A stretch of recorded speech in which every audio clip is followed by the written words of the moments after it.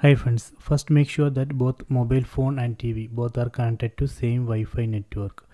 Here I have connected this TV to Wi-Fi network named BSNL 1.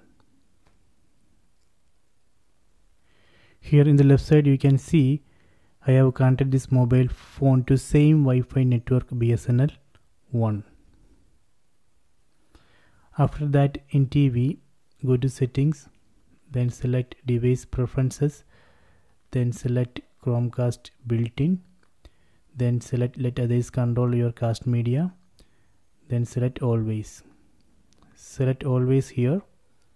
Then in mobile phone open settings app. Tap on the settings app icon. Then tap on more connections tap here. Then tap on cast. So this will automatically search and detect casting devices in the same Wi-Fi network you can see it has detected the TV tap on this TV name. Then tap on start now. See it's working.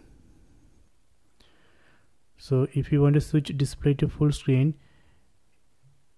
we can enable screen rotation on mobile phone then just rotate the phone.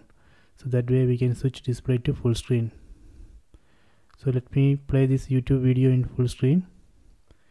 See so this way we can play videos in full screen.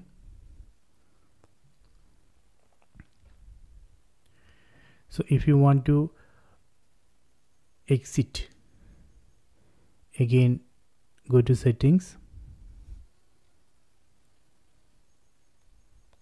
Tap on settings app icon then tap on more connections then tap on cast then tap on connected device then tap on disconnect so that way we can exit. Okay so please try it